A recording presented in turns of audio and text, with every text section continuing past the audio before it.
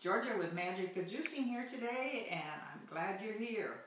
I love this time of year when it's it's got a lot of excitement in in the holiday season, and I've been blessed by God with a wonderful family. Birthdays and holidays are big in our family, and we love getting together and eating. And I have to say, my three girls and I all love to cook and bake, so we always have lots of food.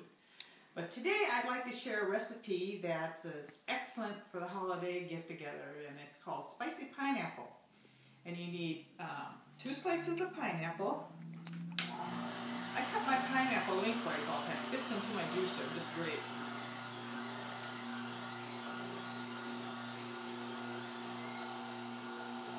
And then you're going to need um, a fourth of ginger root. And peel your ginger root.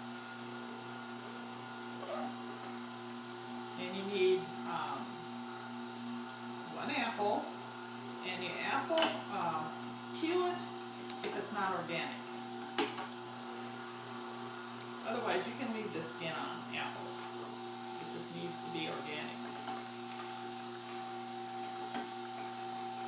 And if you want less sugar, uh, use green apples instead of uh, red apples.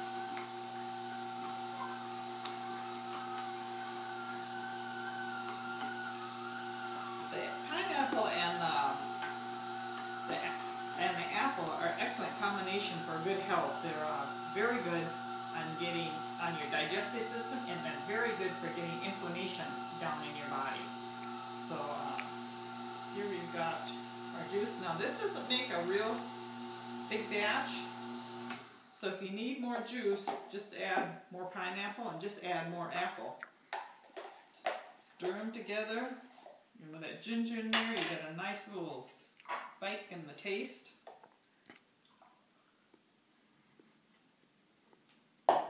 There, you have a great drink for the holiday season, and um, it's excellent, like I said, for your digestive system, helping you with good health, and with keeping that inflammation down, which is very important to our bodies.